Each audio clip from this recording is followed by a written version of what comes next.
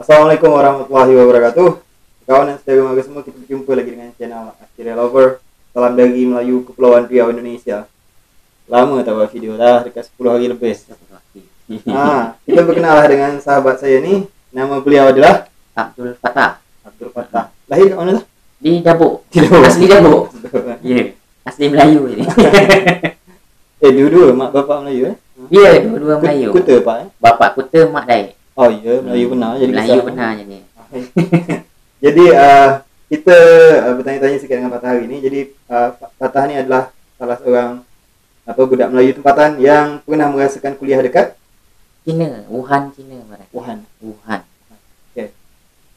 Wah, sebenarnya macam hal kita bertanya-tanya. Cuma hari ni memang saya sengaja nak bertanya tentang macam mana uh, ke sana solat dekat sana apa semua. Tapi ni ah, Wuhan eh tu tahun berapa Patah di sana? 2012. 2012. 2012. Banyak yang bertanya, apakah sebenarnya orang dekat Wuhan tu macam makan kelawar, makan kucing ke makan apa sehingga virusnya? Oh, itu memang memang di sana kita tahu memang tak ada aturan di agama, makanya memang sana bebas makan. Jadi memang ada memang satu tempat memang khusus memang untuk jual beli benda-benda macam gitu memang. Jadi memang ada macam-macam lah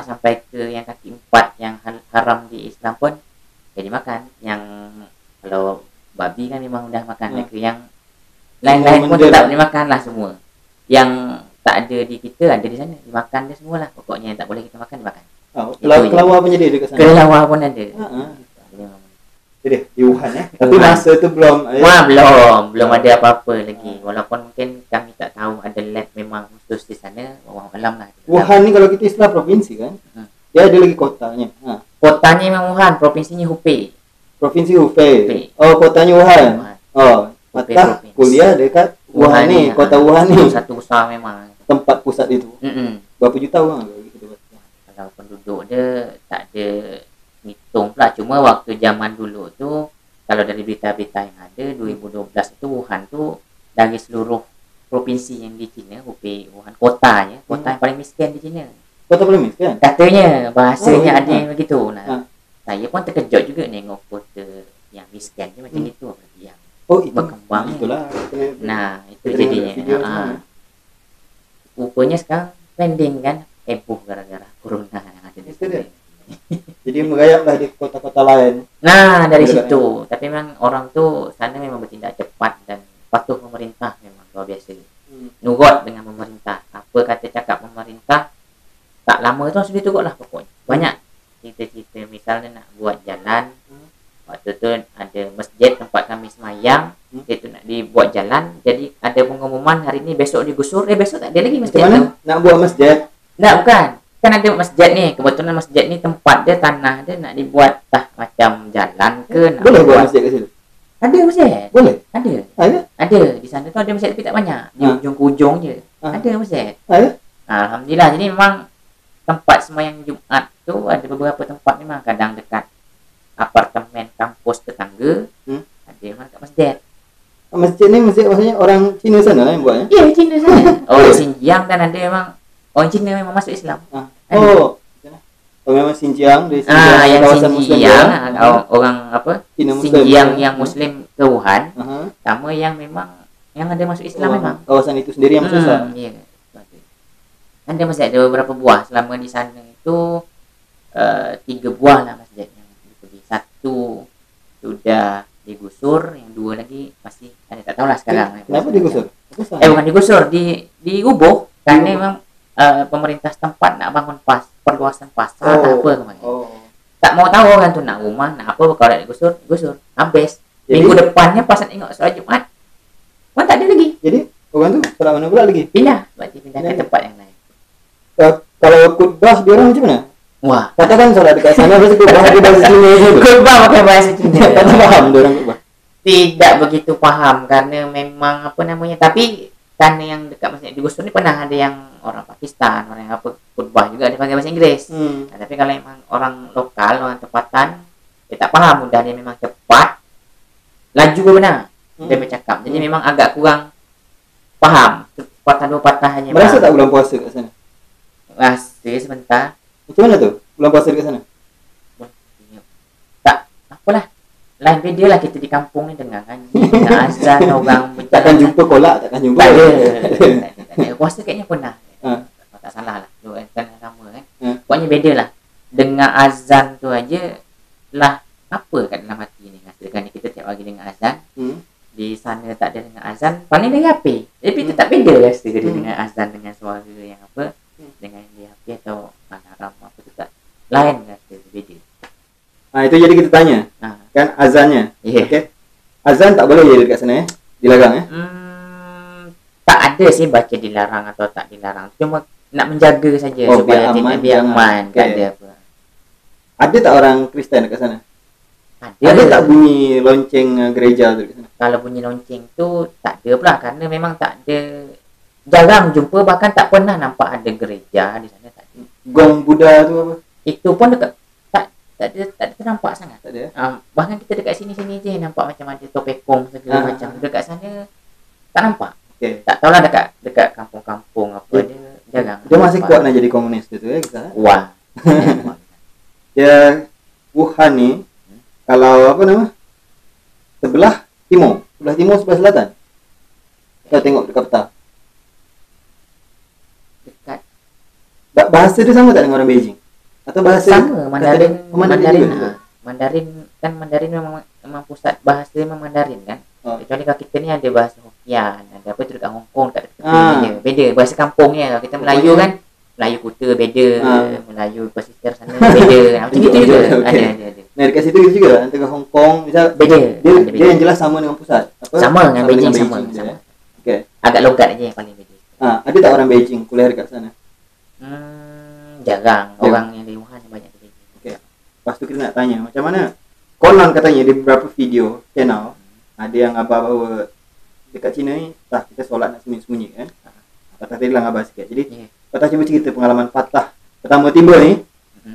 nak tahu waktu solat tiba Mhm. dengan nak mula nak solat tu macam mana Oh iya gitu. Kalau memang beberapa video memang dikonfirm lah memang susah semayang di sana. Saya juga mengalami di sana ngerasa memang susah. Semayang di sana. Kalau untuk tahu tengok jadual memang kerana udah yang paling pertama dipikir memang nak macam mana semayang di sana. Hmm. dari aplikasi dan bertanya memang dengan Oh, dengan senior yang sudah ada di sana kita selisih berapa jam segala macam. Ha, paling nanti nanya kiblat ke mana.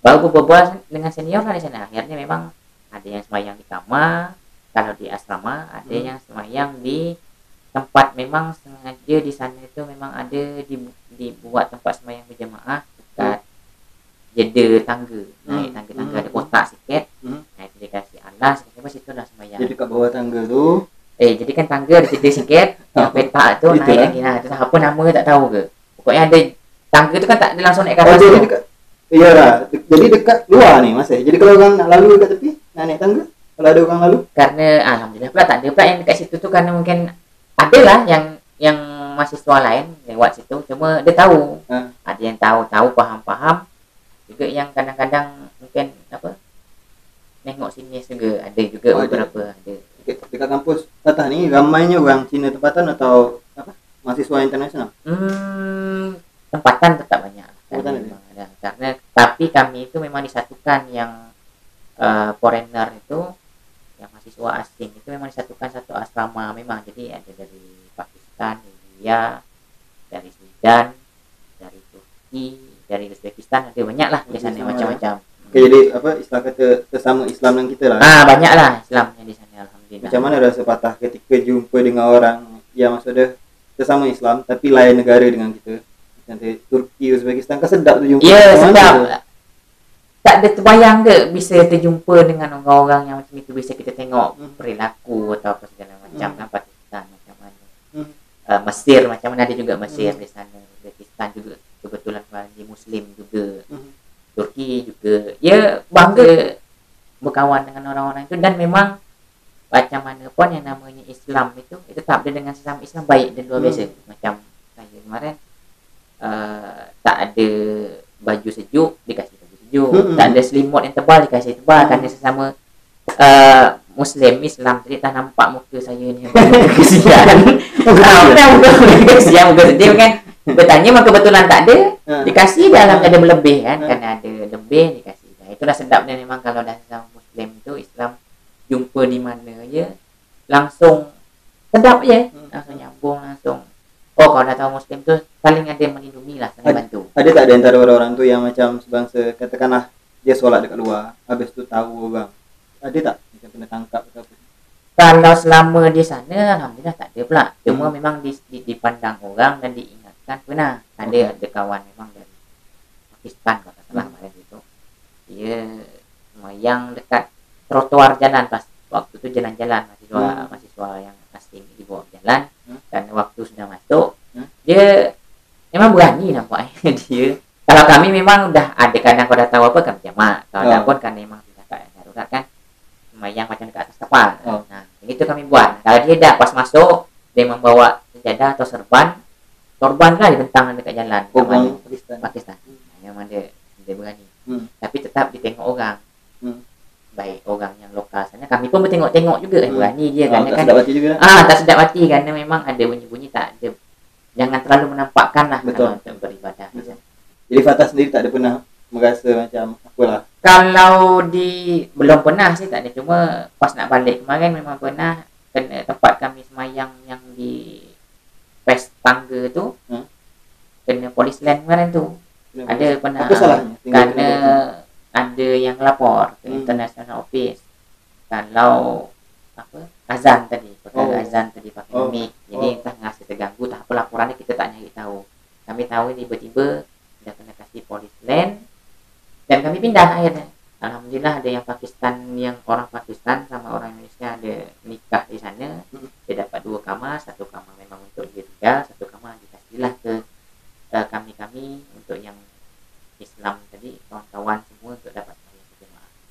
Alhamdulillah tetap dapat walaupun susah dan susah. sekali Fatah dekat sana kan, dah merasa macam mana susah payah nak bersolat dekat sana. Begitu balik kampung, rasanya akhirnya dapat solat dengan macam biasa. Wah. Macam rasanya? Tenang dia tak terbayang lagi lah macam mana rasa dia nak pas kita nak semayang di sana jantung degat-degat takut ada yang le, apa Ah, tercekar sama orang ha, itu beza kalau kat sini kita bebas nah, itulah itu juga yang saya bagi-bagikan ke kawan-kawan. Ingatkan juga selama kita di sini Alhamdulillah dikasih bebas. Nah, beda kita dengan di Palestina beda kita dengan tempat-tempat yang kita menjadi minoritas tu kan Hmm. beda. Sudah jauh bedanya memang. Memang berdebar nak semayang tu kan. Macam dia takut kan? Ah, Kita- berjihad betul lah jadi. di sana minoritas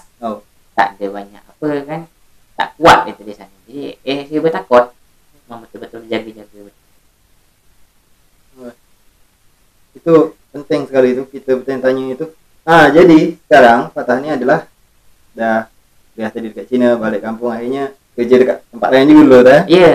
Uh, masa di kawasan luar kawasan Dabuk ataupun Lingga Kepulauan Riau ni akhirnya patah. Sekarang dah berada di kawasan kampung halaman sendiri. Ya. Ah macam mana rasa dia ketika patah kan jadi tenaga pengajar ustaz dah dekat pesantren ni kan? Ya sekarang. Jadi seorang ustaz ni. Macam mana sekali tengok patah tengok budak kampung kita sekarang dengan macam mana cita-cita patah tu macam mana? Maksudnya sinkron tu macam mana rasa tak? Kita apa cita-cita patah untuk budak-budak muda gitu? Oh gitu. Ha.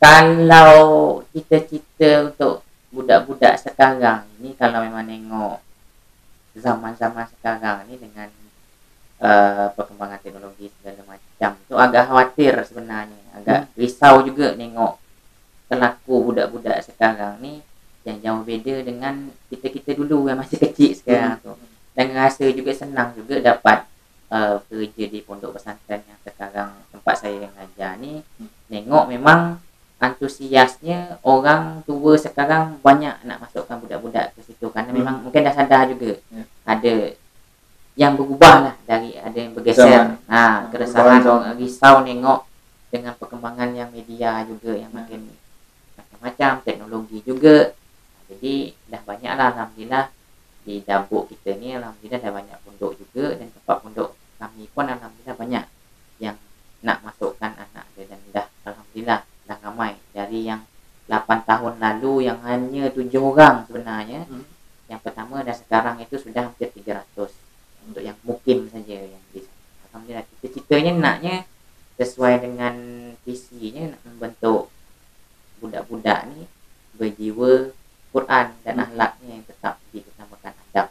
Karena uh, adab tu kalau kita bahasakan di pondok tu adab tu lebih penting daripada ilmu. Percuma kalau berilmu tapi dia tak beradab. Nah itu kan bahaya juga Hmm. kadang-kadang. Yang paling penting itu adab. Mudah-mudahan nanti generasi Quran ini memang uh, dah terbentuk dari pondok ini dan memang salah satunya kerana kita di sini di Dabuk termasuk juga sudah mulai takut juga.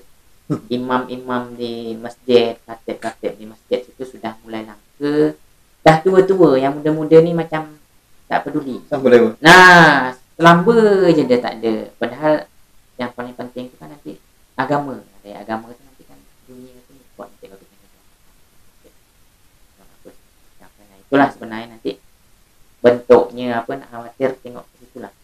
Nanti tak ada bencana tak ada apa. Kerana kan kalau budak-budaknya sudah bagus tak apa nanti kan kampung dia bagus juga Jadi terfikir pula ni satu session agaknya kata boleh tak dikondisikan dikabar dengan budak-budak yang ada dekat sana ke? Uh, kira-kira ni manalah tahu malam Jumaat gitu kan? Kalau Hmm. malam Jumaat ada satu sequel ada satu sequel budak pesantren ngisi ni.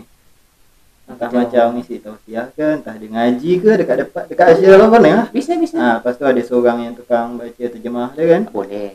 Ha, kalau dapat entah patah entah siapa nanti. Apa nama? Macam megangkom apa macam sikit. Oh gitu nanti bisa. Nanti Nanti dari saya. Bisa dari kawan-kawan dari pondok pun ada. Kita minta izin dulu ke semua-semua ya, agak insyaAllah. Bisa lah nanti di cakap-cakap. Jadi bisa juga channel ni maksudnya apa bukan hanya kepada budaya atau apa semua tapi juga yang paling penting sekali ialah channel ni kan kata lebih banyak fokus kepada Melayunya. Lepas tu Hmm. negara serumpunnya cuma negara serumpun ni mayoritasnya juga Islam. Dan uh, Melayu dia bukan Melayu apabila dia bukan Islam gitu kan? Hmm, ha, jadi balik-balik lagi Melayu adalah Islam. Itulah pesan dari eh, datuk nenek moyang kita. Ya nak macam mana pun kau kau tetap sahadat. Itu paling penting sekali kau harus tetap dengan sahadat. Hmm. kau kau bukan Melayu kalau tanpa sahadat. Ha, jadi saya rasa boleh ni kita bekerja sama ni untuk sama-sama dengan budak pesantren. Mudah-mudahan kau dapat. Oh ya uh, jadi kan dia ada budak kecil main dekat Wah, sedih kau so okay. jadi kan ada gini lah anu dengar kabar dulu tu ada pesantren nak buat musola ya betul lagi nak membangun musola Nah, jadi abang import kepada penonton-penonton yang ada dekat sini semua yang nak memberikan sumbangannya silakan langsung ha, kita berikan. Ada gambar sikit dekat sini. Okey. Hah? Ada kita tunjuk je gambar dekat sini. oh boleh Ha. ah, ya ya Jadi kontak nombor dia nanti macam mana? boleh ke saya tak apa-apa Kau. Ke abang Jadi untuk kawan semua yang nak bertanya macam mana caranya mengirim sumbangan ke pesantren uh, Baitul Maqdis Baitul Quran Baitul eh Baitul Maqdis. Baitul Quran uh, double singkat jadi dapat bertanya langsung ke Fatah. Uh, macam mana? Kadang orang tu kan uh, yalah nak kirim pakai Western Union ke atau Ah, PayPal ke nanti. Uh. Okay, baik. Uh, itu je video kita sekali ni. Kita bertanya itu je sebenarnya. Tapi ini session pertama sebenarnya ada banyak lagi session yang akan kita buat dengan orang-orang pesantren. Kita Hmm. macam-macam lagi hal yang kita tanya. Kerana beliau adalah uh, sahabat saya memang kita dah kenal lama dah. eh. ya dah Ha, dah lama betul. Dan ya, keluarga dengan keluarga pun saling kenal kan berdua Hmm. jadi beliau lah yang pertama masuk dekat dalam channel ni. Okay. Dulu ada buat liputan tentang pesantren, sekali ini buat Hmm. salah satu tenaga pengajar yang kebetulan juga adalah sahabat saya. Terima kasih Fatah. Mudah-mudahan pertemuan ni uh, bermanfaat kan untuk kita dan juga bisa bermanfaat untuk uh, penonton semua. Terima kasih. Sampai jumpa lagi di video yang lain. Salam dari kami Melayu Kepulauan Riau Indonesia. Salam satu Melayu takkan Melayu hilang di dunia. Assalamualaikum warahmatullahi